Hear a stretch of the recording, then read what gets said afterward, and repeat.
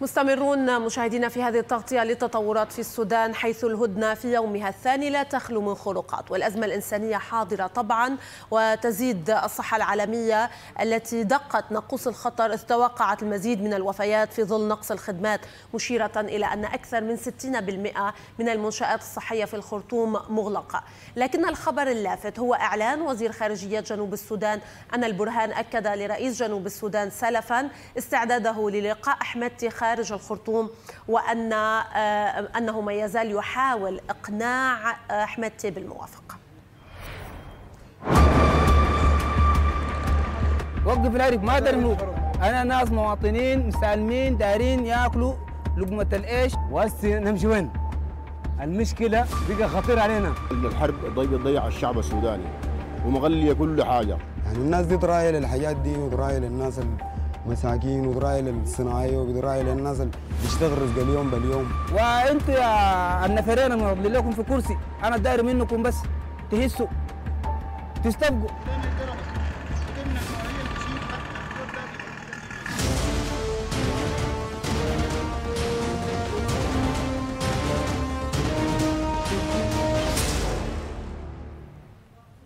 ومع استمرار المواجهات في السودان والجهود الدولية المبذولة لوقف إطلاق النار أعلن البيت الأبيض عن العمل مع طرفي الصراع في السودان لتمديد وقف إطلاق النار لوقف العنف وتأمين المسارات الإنسانية. مشيرا إلى أن وقف إطلاق النار في السودان مستمر رغم بعض الخروقات بالإضافة إلى عمليات القصف العشوائي التي أسفرت عن مقتل مدنيين بينهم أمريكي هو الثاني حتى الآن. هذا وأكد البيت الأبيض على مواصلة العمل لتأمين خروج كل مواطن أمريكي يريد مغادرة الأراضي السودانية. من جهته مشاهدينا قال المتحدث الرسمي باسم الاتحاد الأوروبي في الشرق الأوسط وشمال إفريقيا إن الاتحاد يرحب بالهدنة الإنسانية في السودان ولكنه يريد الوصول إلى وقف دائم لإطلاق النار. كنا نرحب بطبيعة الحال بإعلان هذه الهدنة الإنسانية في السودان بعد أيام من من من الصراع. ولكن صحيح هناك إعلانات هنا هناك لاختراقات وانتهاكات. لكن نحن نريد أن نكرر دعواتنا للأطراف المتقاتلة لجعل هذه الهدنة الإنسانية لوقف اطلاق النار دائم.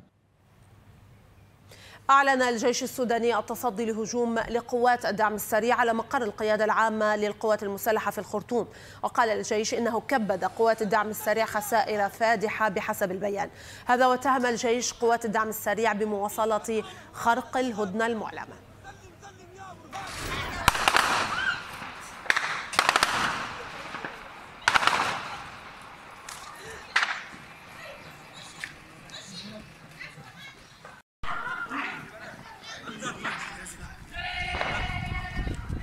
اسمع هاي هاي خليك تجيب تجيب خليك تقدر تشيله. ديل الكل جارين جارين ماشيين الهجوم هسي في رئاسة الشرطة. رئاسة شرطة الولاية ودينا المواطنين ماشيين ماشيين قال لهم يمشي يتسلحوا. فتحوا لهم المخازن بتاعت السلاح بتاعت شرطة المحلية. شرطة المحلية ديل المواطنين العاديين دارين يمشوا ياخذوا لهم أسلحة من شرطة المحلية لأنه ما في قوة يعني تحميم. أي زول يمشي يشيل له بندقية يحمي نفسه.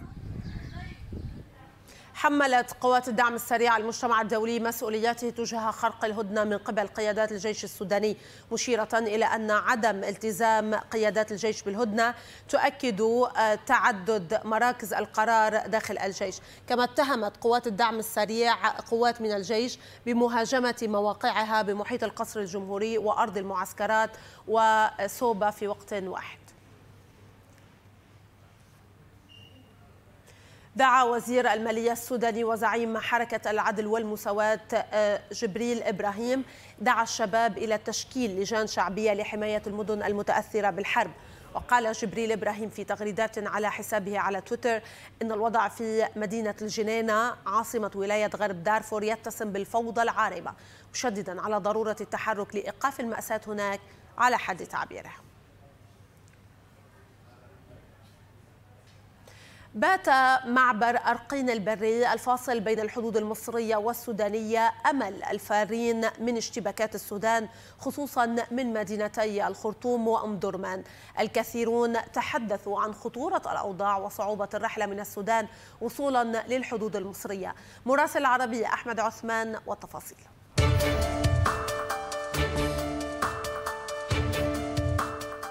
نحن الآن في منفذ عرجين. آخر نقطة حدودية لعبور المصريين والسودانيين والرعايا الأجانب الذين يهربون من جحيم ما يحدث في السودان إلى مصر.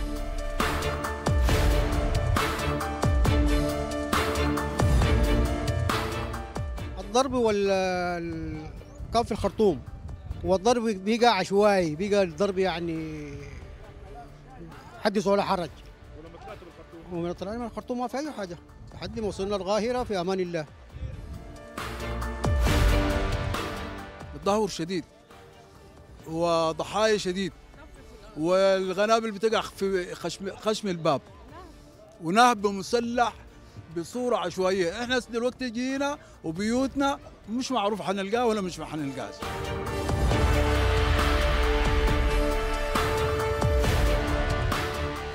ومن خلال هذه الحافلات سينتقلون إلى وجهتهم المقبلة مدينة أسوان التي تبعد عن هذا المنفذ حدود 500 كيلومتر.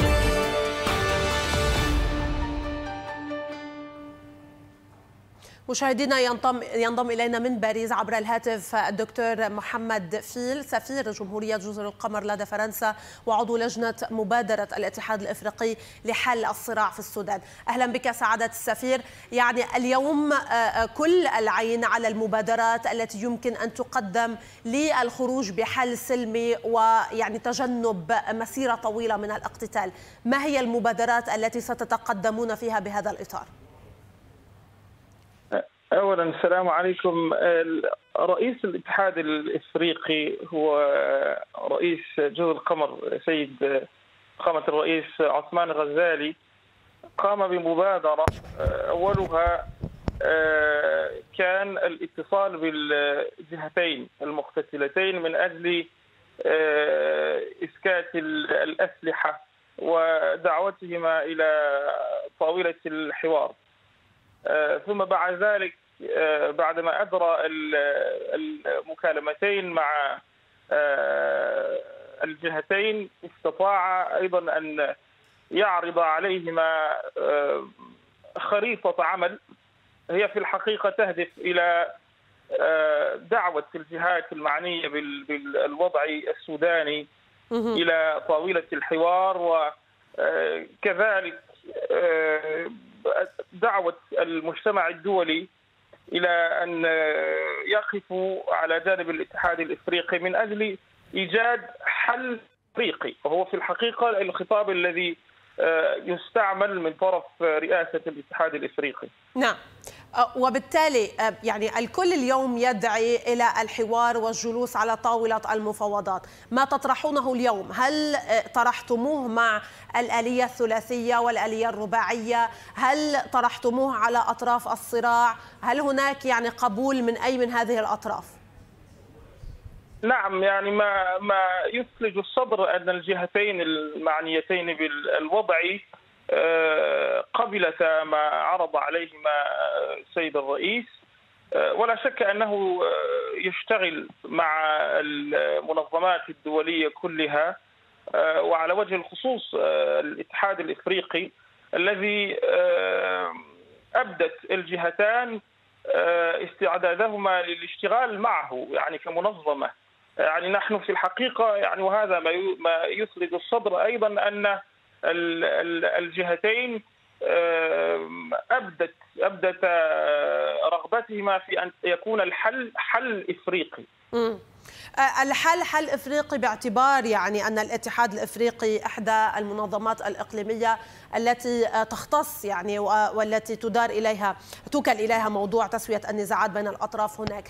اليوم بين طرفي النزاع بين حمدتي وبين البرهان إذا يعني كما قلت بأنكم عرضتم المبادرة على الطرفين وهم محل قبول. هل ممكن بالساعات المقبلة أن يجلسوا على طاولة المفاوضات؟ ما التنازلات التي ممكن أن تقدم؟ هل نحن أمام وقف طويل لإطلاق النار أم ماذا؟ وفي الحقيقة الهدف الأول هو إسكات الأسلحة. والجهتان أبدتا رغبتهما في أن نصل إلى هذه المرحلة. لابد من إسكات الأسلحة فورا. وفي الحقيقة كلتا الجهتين أبدت استعدادها لهذه المرحلة. وفي الحقيقة المرحلة المهمة. وثم بعد ذلك رئيس الاتحاد الإفريقي هو في مرحلة إعداد خريطة عمل إن شاء الله هل ستزورون الخرطوم؟ هل سيزور وفد الخرطوم للجميع؟ نعم, نعم هذا أيضا من الأمور المبرمجة يعني فور ما فور ما تتوفر الشروط الأمنية سينتقل يعني أنتم بالمرحلة الماضية لم تستطيعوا الوصول إلى الخرطوم ويعني وطرح المبادرة بشكل مباشر على الطرفين بسبب عدم عدم يعني الالتزام بوقف إطلاق النار، ما الذي يضمن اليوم بأن يلتزم الطرفين باطلاق بوقف إطلاق النار وهل هم مستعدون لاستقبال الوفد؟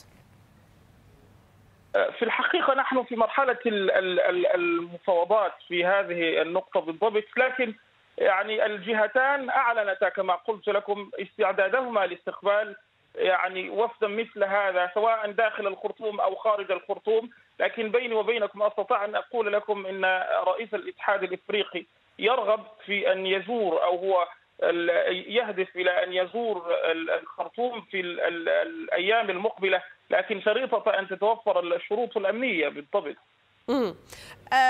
شريطة أن تتوفر الشروط الأمنية سيزور الخرطوم. وبالتالي هل يعني ستتكثف الاتصالات مع طرفي النزاع بالساعات المقبلة؟ خصوصا أننا نتحدث عن هدنة يعني فرضها الجانب الأمريكي نوعا ما لثلاثة أيام ولم يلتزم بها الطرفان 100% هي يعني تخرق بين وقت والآخر. أنا في الحقيقة ما قلت لكم استطاع الرئيس أن يتصل بال بالفريق أول عبد الفتاح البرهان والفريق محمد حمدان ددلو. وكلا الشخص الشخصيتين أبدت رغبته رغبتها في أن يستقبل تستقبل الرئيس. وأيضا في قبول ما عرض عليهم عليهم عليهم الرئيس.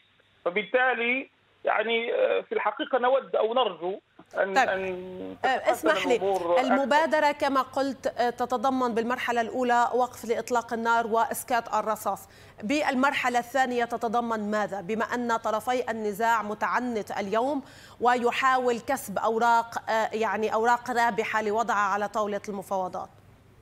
يعني لا, لا يمكن أن أدخل أكثر في التفاصيل لكن ما أستطيع أن أقول لكم الآن أن يعني بعد إسكات الصوت لابد أيضا من مرات جوية تسمح لإيصال الإعانة التي في حاجة إليها المدنيون وكذلك الناس الذين يجدون أنفسهم. الإخوان إخواننا السودانيون الذين هم مصابون بهذه الأزمة الخطيرة.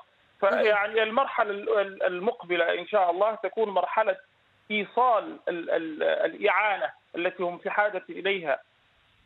نعم. وبالتالي أنتم نعم. أنتم الآن ما زلتم بالمرحلة الأولية وهي وقف إطلاق النار. ليس هناك تفاصيل أكثر عن هذه المبادرة بانتظار تنسيقها طبعا بشكل مفصل أكثر مع الأطراف الأممية. أتحدث عن اللجنة الثلاثية واللجنة الرباعية. شكرا لك سفير جمهورية جزر القمر لدى فرنسا وعضو لجنة مبادرة الاتحاد الإفريقي لحل الصراع في السودان.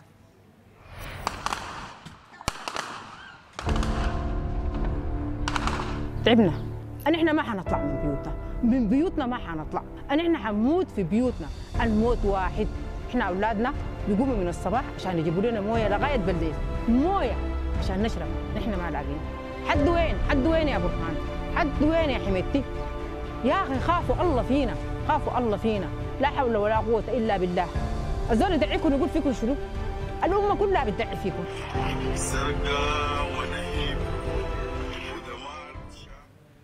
مشاهدينا نتابع وإياكم هذه الصور التي وصلتنا من إرسال الجيش السوداني تعزيزات للخرطوم.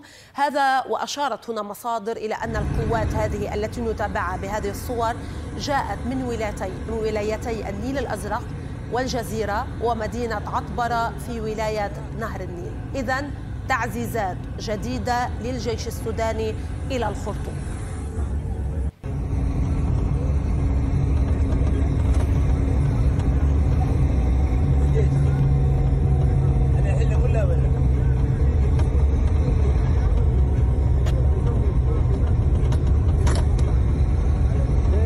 إذا طابور طويل من التعزيزات للجيش السوداني من جنوب الخرطوم إلى داخل الخرطوم. آه، طبعا هذا ينذر باشتداد حدة المعارك والاشتباكات بالساعات المقبلة بعد انتهاء الهدنة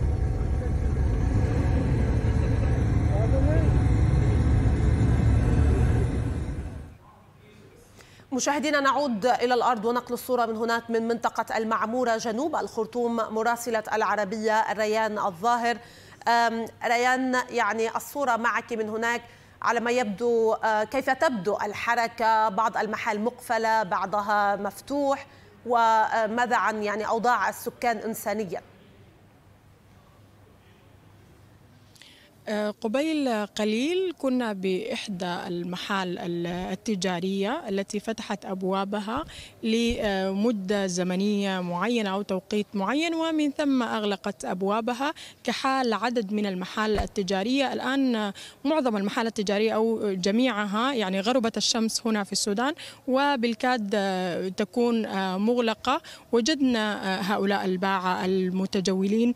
آه، نريد أن آه، نعرف ونستفسر آه، أكثر ونرصد آه، حركة المواطن آه، والحركة آه، الشرائية. وللأمانة نفذت كثير من المواد الأساسية وللأسف حتى المياه المعدنية بدأت تنفذ من المبردات ومن أرفف المحال التجارية. وربما المواد الموجودة الآن بمخازن هذه المحال قد لا تكفي لأسبوع وهو ما ينبئ به خطر قادم للمواطن السوداني الذي ظل يعاني من شح الموارد والمواد آه، التموينية ونفاذ المواد آه، الأساسية. نحن هنا نرصد آه، يعني آراء أيضا وبعض الاستطلاعات لهؤلاء الباعة. وأيضا وجدت أن أرفف المحال ال- التجارية قد آه، بدأت تخلو من الفاكهة وبدأت تقل فيها الخضروات. فلذلك آه، سنستطلع يعقوب عبد الله. مرحبا. السلام ورحمة الله العربية. مرحبا بكم. أول حاجة كيف الحركة الشرائية للمواطن؟ هل في إقبال على الخضروات والفواكه؟ أيوة نعم جدا. في طبعا يعني أسعار مناسبة معقولة. عندنا كيلو بطاطس ب 1000 جنيه. يعني لحد 700 جنيه بيقولوا إنه في غلاء يعني هسه حاليا بيقولوا إنه في غلاء آه، حاصل. فعلا في غلاء ولا الأسعار كما هي؟ والله غلاء دي أصلا هي الفواكه دي أصلا هي ما فيش طبعا. لكن الخضروات دي طبعا في بيجي من أطراف العاصمة من المزار اللي أطراف الخرطوم ده بتجي كله السبع طبعا يعني. أسعار معقولة. بينباع الزوائن يعني. شنو الموجود من الفاكهة وشنو اللي ما ما موجود ما بيستطيع المواطن شراؤه؟ طبعا برتقال وعندك زي المانجا. دي طبعا ما موجودة. دي بدائل قديمه مخزنة بس طبعا. كده. لكن زي التفاح المستورد دي برضه حتى يعني بدائل قديمة مخزنة بس. جديد حاليا ما بتقدروا تستوردوا جديد. أيوة لا لا جديد ما في طريقة. لكن موز برضه كان ما في كان قطع. لكن الليلة صباح اليوم في موز جات داخل جديد وكده إن شاء الله. المواطن حاليا ممكن ما يملك آه، نقد. آه، كيف بتتعاملوا؟ هل بال- بالتطبيقات البنكية ممكن تتعاملوا؟ نتعامل معه طوال أيوه جدا. يعني زول اللي عنده كاش بيشتري بالكاش لو ما عنده كاش يشتري برضه يحول لنا بنكك. حتى لو ما عنده ذات يعني بيندي طوال يمشي. يجينا مرة الجاية لو عنده بيجي بحسبنا كده حاليا بنرصد برضه عملية آه، شراء. يعني مرحبا. كيف الحال؟ بخير الحمد الحمد لله تمام. عايز آه أنا جيت أشتري موز.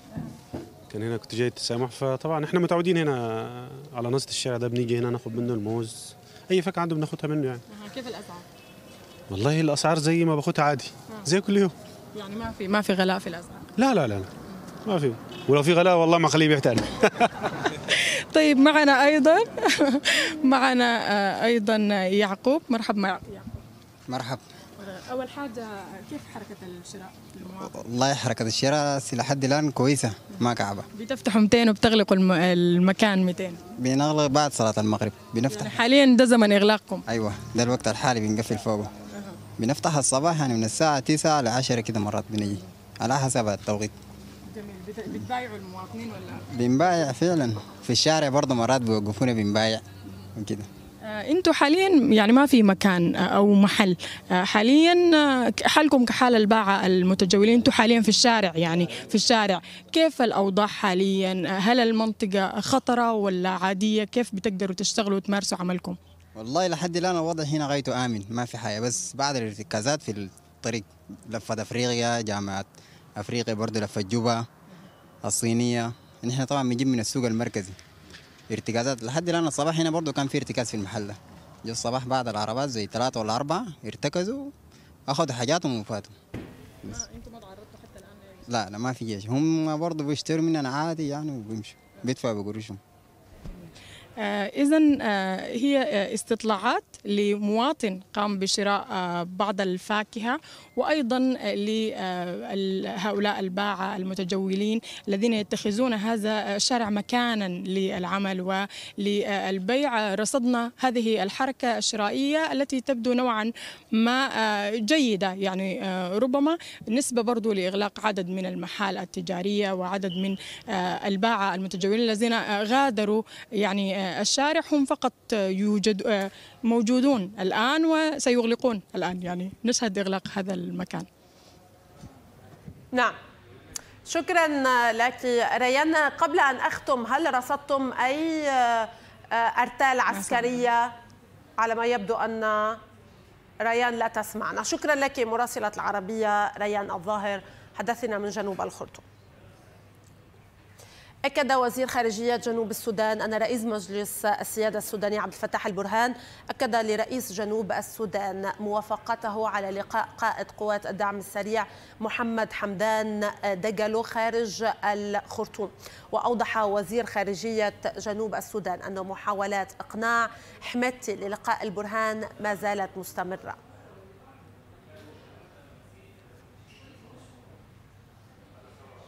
عبرت بريطانيا عن قلقها إزاء التقارير التي تفيد بأن الطرفين أخفقا مرة أخرى بالوفاء في التزاماتهما حول الهدنة. ودعت قوات الجيش والدعم السريع إلى وقف دائم لإطلاق النار وإنهاء العنف بالإضافة إلى السماح بوصول المساعدات الإنسانية وحماية المدنيين العاملين في المجال الإنساني والطبي. إلى ذلك مشاهدينا دعا الأمين العام للأمم المتحدة أنطونيو غوتيريش أطراف النزاع المتصارعة في السودان إلى وقف القتال في البلاد مشددا على أن القتال لن يكون حلا للصراع بين القوتين. غوتيريش دعا قادة السودان لجعل مصالح شعبهم أولوية. وفي مسلسل المعاناة معاناة السودانيين المدنيون يشكون من رصاص الدوشكا الروسي ويقولون إنه يخترق جدران المنازل ويصيبهم بإصابات بالغة. فلنتابع. رشاش الدوشكا الروسي صمم في الثلاثينات من القرن الماضي. السودان من الدول التي تستخدم هذا الرشاش بكثرة. طلقته كبيرة الحجم من عيار 12.7 ملم يصل مدى الرمي إلى 3500 متر. في الأصل هو رشاش ثقيل مضاد للطائرات. يمكن استخدامه ضد المدرعات الخفيفة والآليات العسكرية. إذا تم استخدامه في المناطق المدنية سيؤدي إلى أضرار مروعة. وفي آخر تطورات عمليات الإجلاء من السودان قال مراسل العربية أن نحو سبع طائرات عسكرية تصل يوميا إلى بورت سودان للإجلاء بالتنسيق مع الجيش.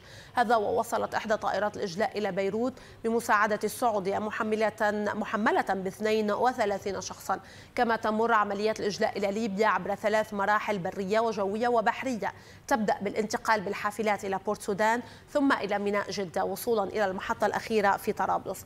واستقبل مطار مطار معيتق معيتقية الدولي 105 من أفراد الجالية الليبية في السودان بعد إجلائهم. هذا وأكدت الجزائر أن 13 فلسطينيا وأكثر من 20 سوريا وعددا آخر من الرعايا بالخرطوم قدموا أو قدموا من مطار بورت سودان. من مدينة بورت سودان مراسل العربية نزار بقداوي. نزار عمليات الإجلاء كيف هي الصورة من هناك؟ هل هي ما زالت مستمرة؟ الأعداد الموجودة؟ وكيف يعني تسير عبر البحر أو عبر الجو حالياً؟ عمليات الإجلاء متواصلة بدأت منذ الحادي والعشرين من هذا الشهر عبر البحر وبدأت منذ الثالث والعشرين من هذا الشهر عبر مطار بورسودان الدولي. حتى الآن ما تم إجلاؤهم تحديدا نحو مدينة جدة عبر البحر أكثر من 2200 تم إجلاؤهم ينتسبون لأكثر من 65 دولة وصلوا إلى بورسودان وأكملوا كافة الإجراءات المتعلقة بالإجلاء وبمغادرة السودان. فيما يلي عمليات الإجلاء عبر المطار هنالك نحو ست إلى ثمان رحلات يوميا تهبط الطائرات العسكرية ما تهبط فقط في مطار بورسودان هي الطائرات العسكرية لأن المطار مغلق بموجب القرار الذي صدر من السلطات السودانية بإغلاق المطار الجوي لكافة الرحلات الجوية الدولية والدولية لذلك يحدث الاستثناء فقط للطائرات التي تجلي الرعاية وهي طائرات عسكرية تصل إلى بور سودان في المطار ومنها إلى عدد من القواعد سواء كان في جيبوتي أو في عدد من مطارات المنطقة والإقليم والعالم. أما بحريا فتتواصل حتى اللحظة عمليات الإجلاء التي تمضي بصورة يومية بواقع خمس إلى ست قطع بحرية.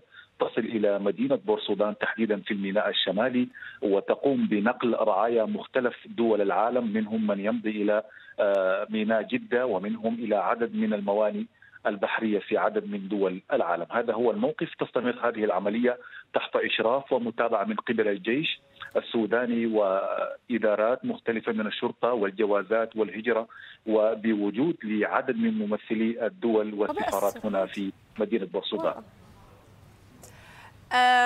نزار يعني أيضا بموازاة ذلك هناك رحلات ما زالت تصل إلى مطار جدة الآن الرحلات التي تسير عبر البحر وعبر الجو من أين وإلى أين؟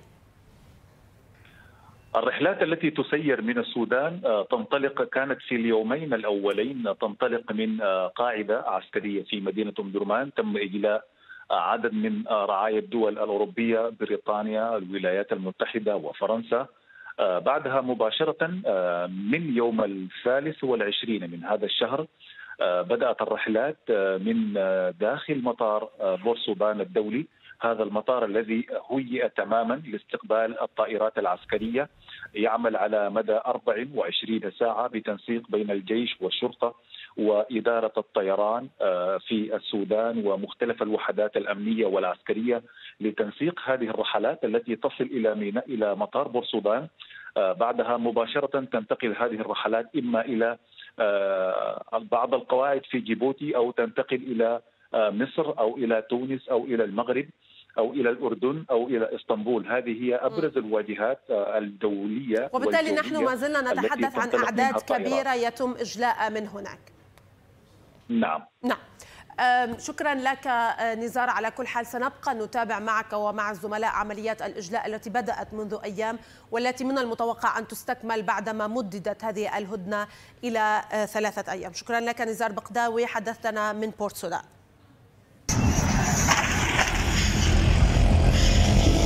حاصل يعني استغلال استغلال ذاته بشع يعني من أصحاب الباصات ويعني تذكرة الصباح بسعر والمسا بسعر الباص فضل له خمسة مقاعد لكن يعني عندنا ثلاثة نفر قال بمليار و50 مليار و50 يجوا يوم.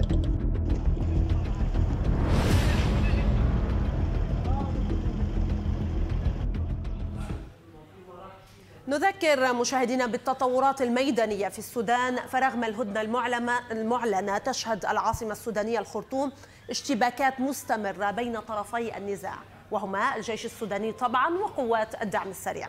ويظهر لنا هنا أن الاشتباكات تركزت في محيط القصر الرئاسي والواقع طبعا في وسط العاصمة السودانية. قوات الدعم السريع اتهمت هنا الجيش وقالت إنه هو من هاجم قواتها بمحيط القصر الجمهوري وأرض المعسكرات وسوبا في وقت واحد. ونجد هنا مشاهدينا أن الاشتباكات امتدت إلى مناطق في محيط القيادة العامة وإدارة المرافق الاستراتيجية. الجيش أعلن هنا تصديه لهذه الهجمات التي تشنها مجموعات الدعم السريع. ويظهر لنا أيضا مشاهدينا اشتباكات في المناطق المحيطة بمطار الخرطوم الدولي كما نشاهد هنا وأيضا حي المطار السكني. وعن قناصة الدعم السريع المستمرة في إطلاق النار في مطار الخرطوم وبحري وأم درمان وفق إعلان الجيش السوداني. من الخرطوم إلى ولاية غرب دارفور. فقد تجددت هنا الاشتباكات أيضا في مدينة الجنينة بين الجيش والدعم السريع وسط طبعا الأحياء السكنية كما نشاهد هنا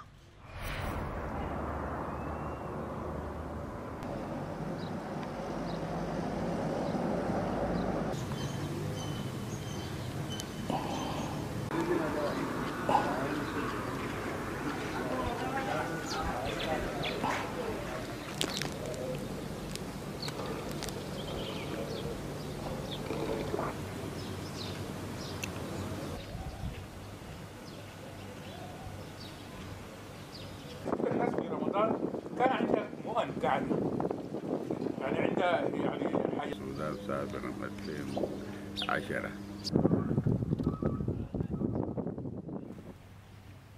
وحول جهود السعودية بشأن المساهمة في إجلاء الرعايا الأجانب عبر موانئ جدة بالبحر الأحمر وصلت الفرقات الفرنسية لوغان إلى جدة وعلى متنها أكثر من 400 شخص قادمين من السودان هربا من الاقتتال الدائر.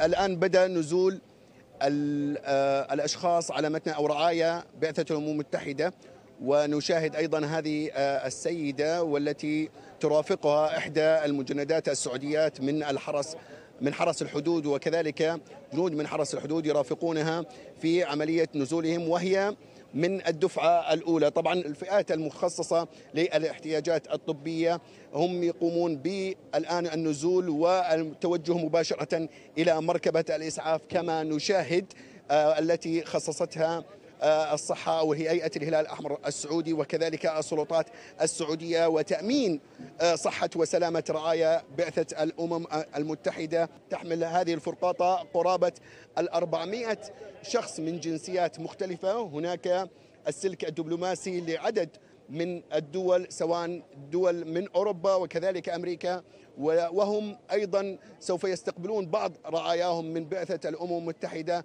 يتواجدون الآن آه، هنا على رصيف ميناء جدة الإسلامي. هنا أيضا وصول أو نزول أيضا المزيد من آه، بعثة الأمم المتحدة ورعايا بعثة الأمم المتحدة الذين وصلوا للتو الآن. ساهمت سفينة أمانة السعودية بإجلاء مئات الأشخاص من مختلف جنسيات العالم مسجلة بذلك أكبر عملية إجلاء من السودان حتى الآن. فلنتعرف مشاهدينا على هذه السفينة ونعود. سفينة أمان السعودية تقوم بأكبر عملية إجلاء من السودان. السفينة ترفع علم السعودية منذ 44 عاماً. إيطالية الصنع تملكها شركة نماء للتجارة الدولية.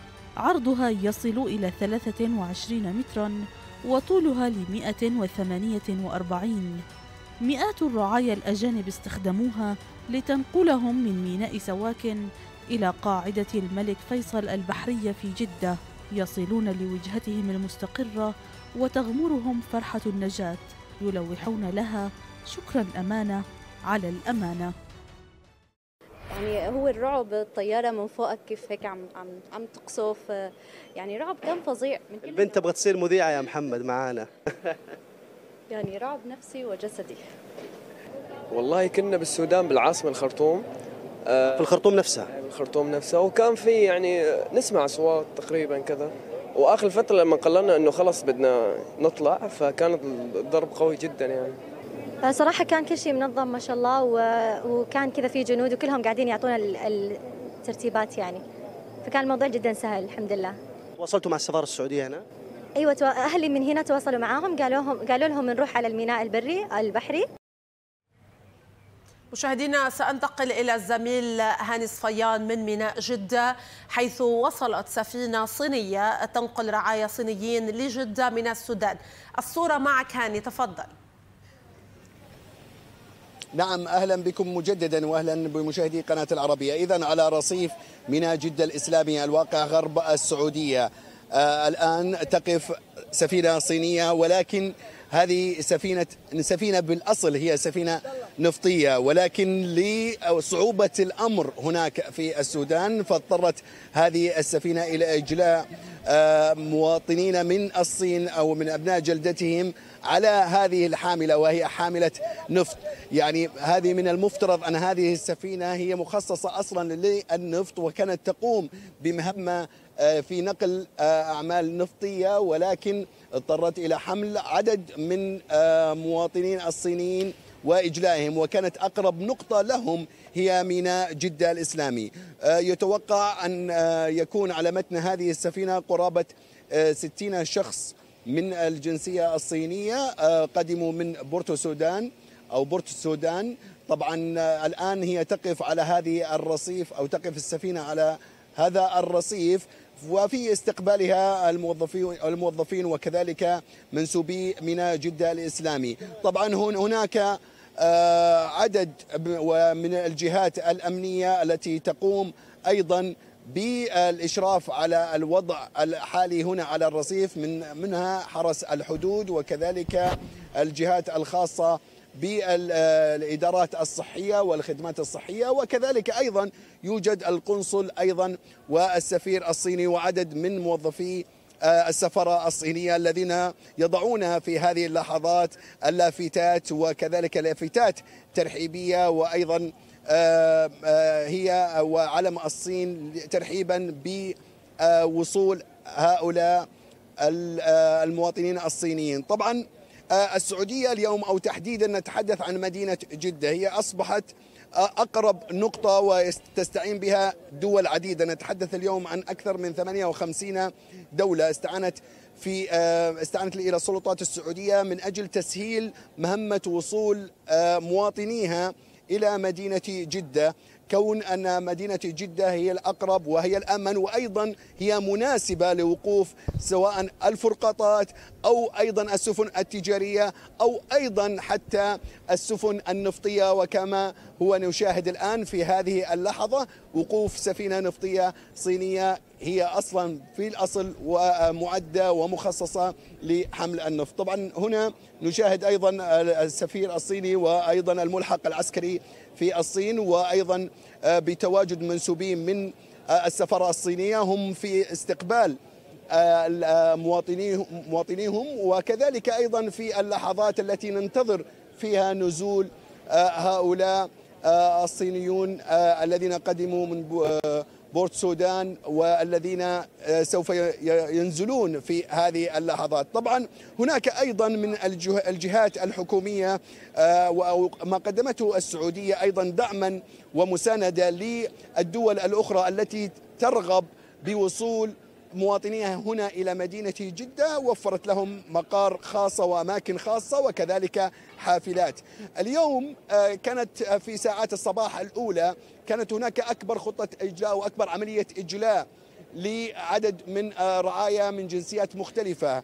نتحدث عن أكثر من 1670 شخص من 40 جنسية وصلوا إلى السعودية. نتحدث أيضا عن فرقاطة آه، آه، آه، فرنسية وهي فرقاطة لورين والتي تقف لأول مرة أيضا على هذا الرصيف.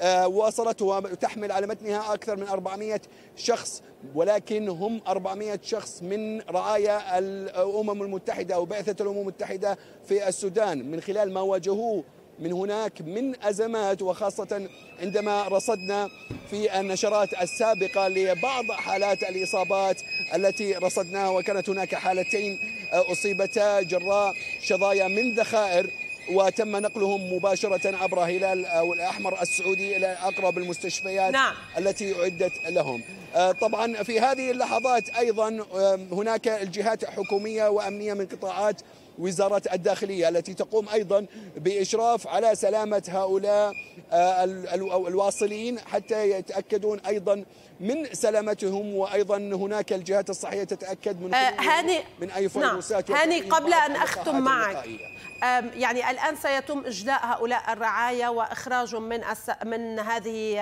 السفينة إلى أين سيتم إرسالهم؟ هل يعني آه، هناك طائرات جاهزة لنقلهم إلى بلادهم أم أنهم سيباتون في جدة؟ آه، طبعا بكل تأكيد هناك طائرات خاصة يتم التنسيق فيها مع الجهات السعودية مع السفارات دولهم وتحديدا السفارة الصينية هناك طائرات سوف تقلهم مباشرة آه، لديهم الخيارين نعم. الخيار الأول إما إقامتهم يمكثون لمدة يوم أو يومين بعد ذلك مغادرتهم إلى بلادهم آه، إلى الصين أو مغادرتهم مباشرة إلى الصين بالترتيبات والتنسيقات مع السفارة الصينية. على كل حال هاني سنعود إليك فور يعني آه، آه، بدء إجلاء هؤلاء من من السفينة. شكرا لك هاني صفيان مراسل العربية حدثتنا من جدة.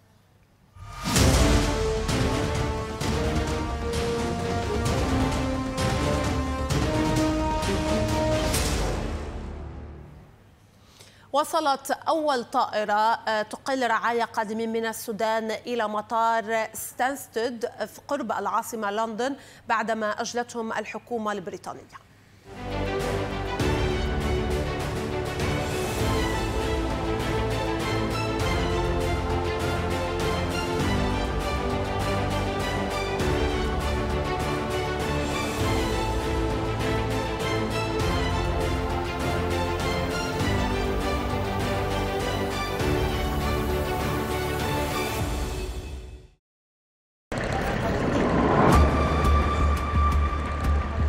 وقف العرف ما درنوك أنا ناس مواطنين مسالمين دايرين ياكلوا لقمة العيش. وهسه نمشي وين؟ المشكلة بقى خطير علينا. الحرب ضي- بتضيع الشعب السوداني ومغلية كل حاجة. يعني الناس دي درايه للحاجات دي ودرايه للناس المساكين ودرايه للصناعيه ودرايه للناس اللي بيشتغل رزق اليوم باليوم. وأنتوا يا النفرين المضلين لكم في كرسي أنا داير منكم بس تهسوا تستبقوا قادة نظام البشير أصبحوا خارج سجن كوبر الذي يعد من أكبر وأقدم سجون العاصمة السود- السودانية الخرطوم لكن ماذا عن الرئيس السابق عمر البشير؟ سؤال تصدر المشهد السوداني بعدما كشف الوزير السابق أحمد الهارون وهو أحد أبرز رموز نظام البشير عن هربه وهروب قيادات أخرى تابعة للنظام السابق من سجن كوبر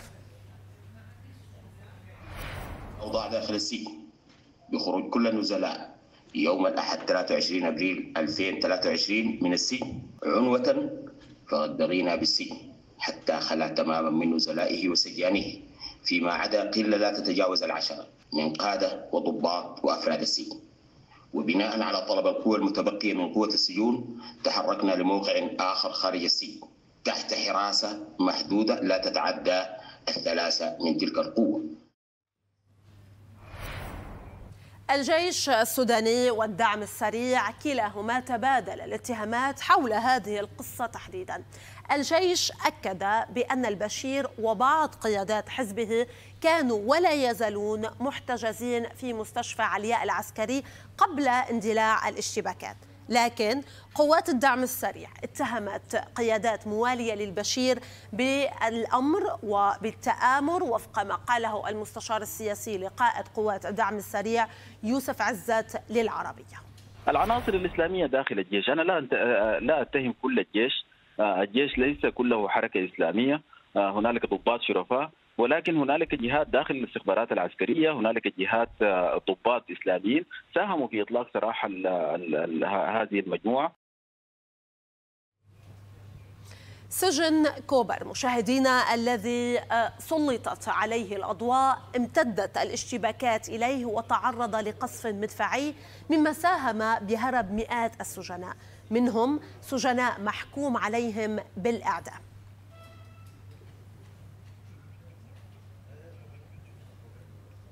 هذا السجن سجن كوبر. هو السجن المركزي في البلاد ويقع في مدينة بحري بالقرب من النيل الأزرق بالعاصمة الخرطوم. تبلغ مساحة السجن حوالي خمسة ألاف متر مربع وتم تصميمه على شكل هندسي يحاكي سجون بريطانيا. بعدما تولى مهام إدارة هذا السجن الجنرال الإنجليزي كوبر خلال فترة الاحتلال. ويضم السجن أربعة عشر قسما. من بين هذه الأقسام قسم مخصص للمدانين بأحكام الإعدام وقسم للمعتقلين السياسيين. وبطبيعة الحال قسم للمحكوم عليهم بأحكام طويلة وقصيرة. يبعد السجن مشاهدينا عن المستشفى العسكري نحو عشرة كيلومترات أي حوالي 17 دقيقة. ما موقف أطراف الصراع في السودان من خروج رموز نظام البشير من السجن؟ الجيش السوداني سلطة إدارة السجون خارج نطاق اختصاصنا وتحت مسؤولية وزارة الداخلية. الدعم السريع. لا سيطرة لدينا على السجون في السودان وهذه مسؤولية الشرطة. الميليشيات المتمردة أجبرت شرطة السجون على إطلاق سراح النزلاء.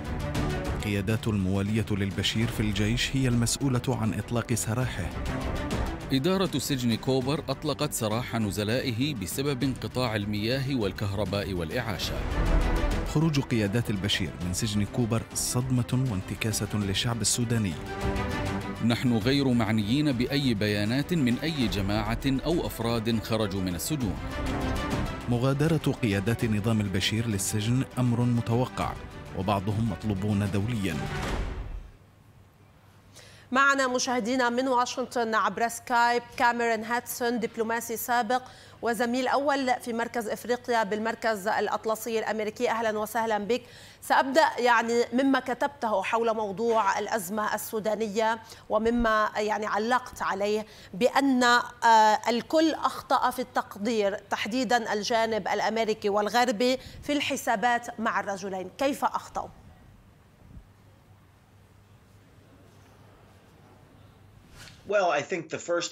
أعتقد أن الخطأ الأول هو تصديق ما قيل لهم من قبل الجنرال البرهان وحمدتي وقال لنا وللشعب السوداني بأنهم مستعدون للحكم المدني وأنهم مستعدون لتسليم السلطة للحكم المدني وأنهم نادمان على الانقلاب وأنهم قد معنا قبل عام فبينما كنا نصدق هذه البيانات خلال الأسابيع الماضية كان يستعدان للحرب.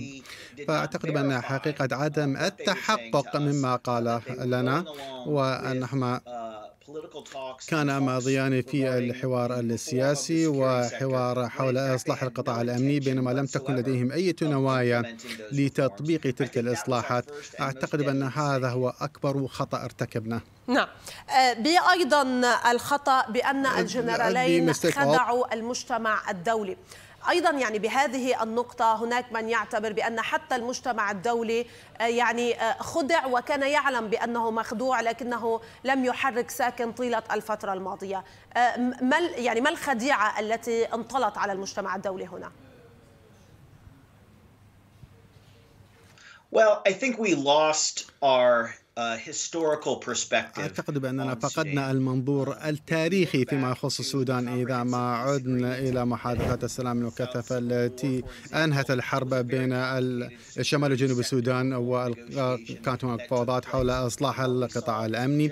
وما شاهدناه هو أن الجنرالان حينها اتفقا على تلك الإجراءات وبعدها لم يفيا بوعودهما. فشاهدنا ذلك مرارا وتكرارا وحتى مؤخرا قبل عام ونصف الجنرال برهان جلس أمام الموفد الأمريكي الخاص وقال له بأنه لن يكون هنالك انقلاب في البلاد. وبعد خمس ساعات فقط الجنرال برهان قاد الانقلاب. فلست أفهم لماذا على الأقل من الناحية التاريخية نستمر بتصديق كل ما يقال لنا من قبل هذين الجنرالين. أعتقد بأن السبب هو لرغبتنا في تصديقهما وليس لأنهما أعطانا الأدلة بل فقط لأننا نريد أن نصدق ما يقولونه هو أن نصدق بأن دبلوماسيتنا لها الأثر المرغوب ولكن الحقيقة عكس ذلك. أيضا أستاذ كاميرون هناك بعض التقارير التي كانت تتنبأ بحصول مواجهة عسكرية بين الطرفين قبل أن تحدث هذه المواجهة برأيك لماذا يعني لم يحرك الغرب ساكنا خصوصا أن المبعوث الأممي كان موجود هناك اللجنة الثلاثية والرباعية كانت موجودة هناك وكانوا متفائلين يعني بشكل كبير بالانتقال السلمي. وهنا أيضا أنت تقول بأن الجنرالين قالا شيء وكانوا يخططون ويحضرون لشيء آخر. Absolutely. تماما.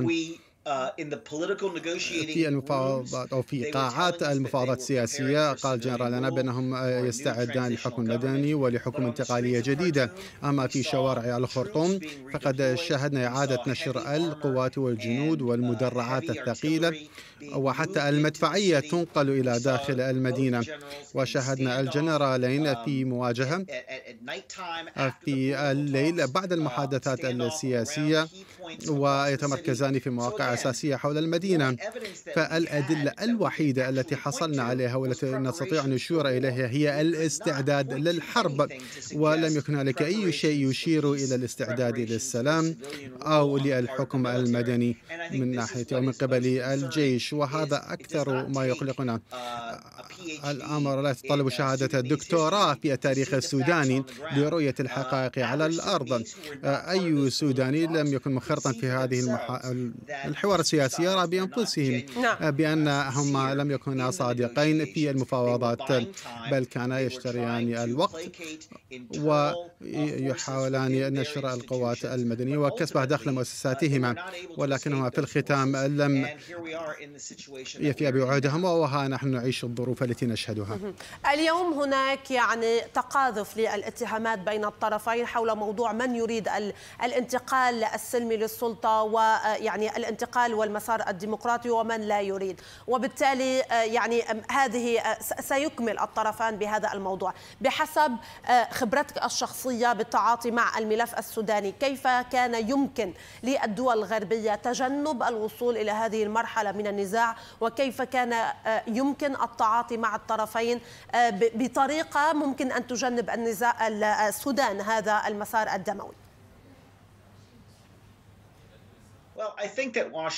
أعتقد بأن واشنطن وشركاء آخرين هم من أعطى الشرعية لهذين القائدين العسكريين وسمحنا لهم بلعب الأدوار السياسية واعترفنا وأدركنا بأن من يملك السلاح يملك السلطة لم نفعل ما يكفي لرفع ودعم أصوات المجتمع المدني وقوات الحرية والتغيير والسياسيين المدنيين.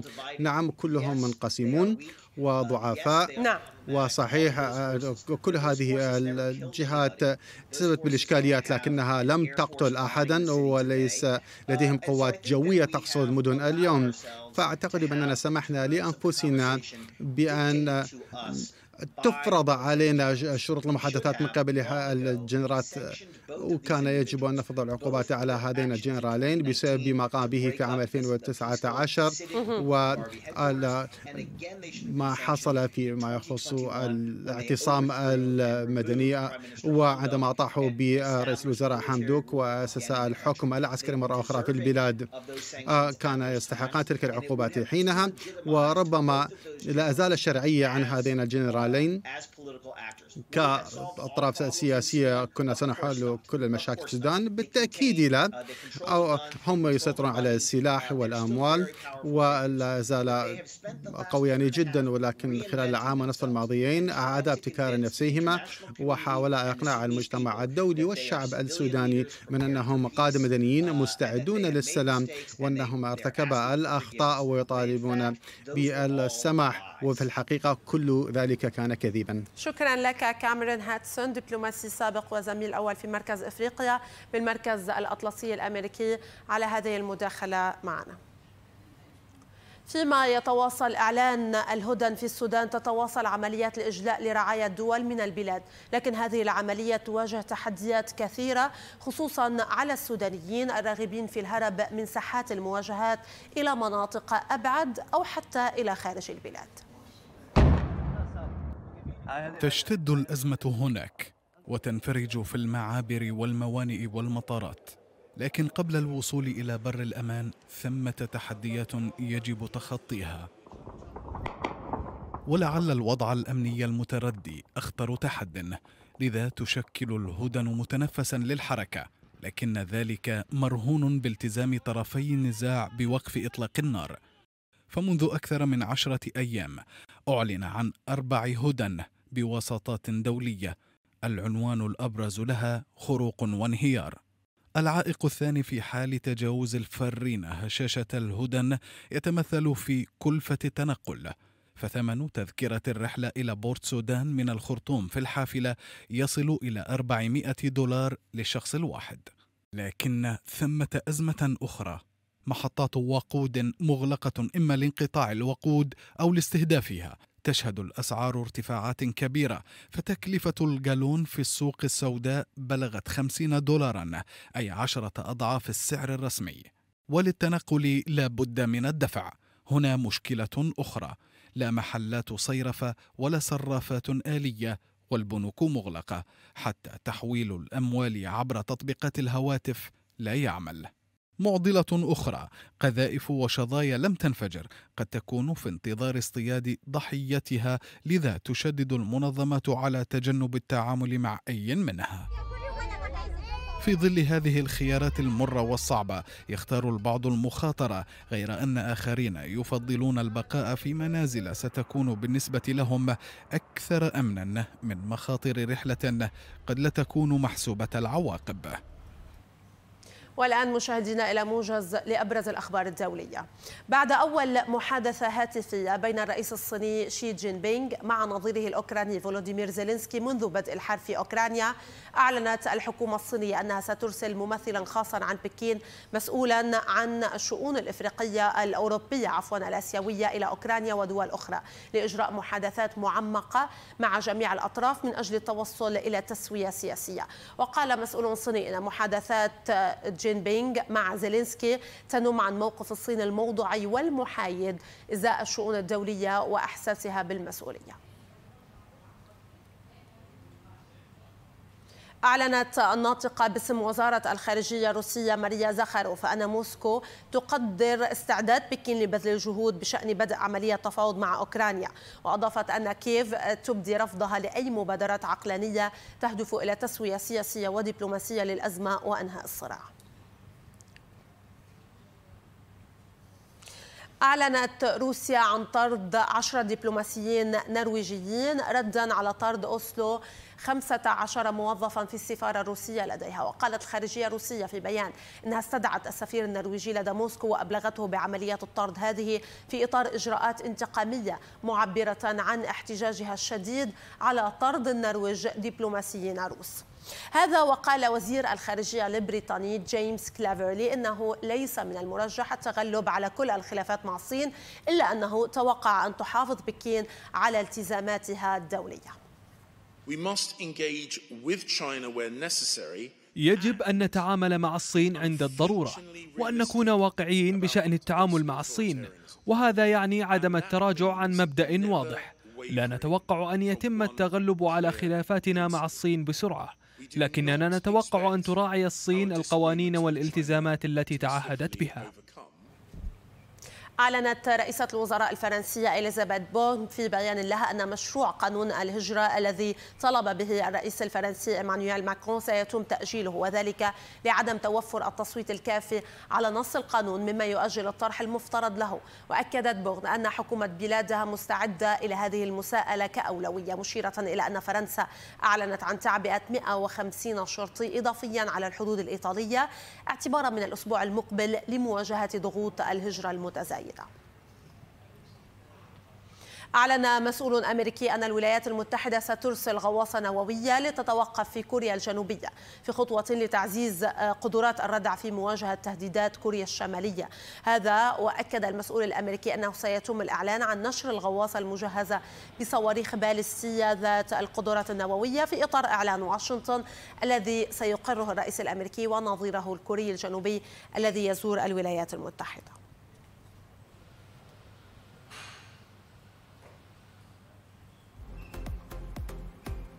والآن نعود مشاهدينا إلى استكمال تغطية أحداث السودان وساعة إخبارية جديدة مع الزميلة ريم بوغمرة لمتابعة المزيد من الأخبار والبرامج والقصص الإنسانية والوثائقيات والتقارير الإخبارية لا تنسوا الاشتراك في قناتنا على يوتيوب الضغط على زر الإعجاب وتفعيل جرس التنبيهات.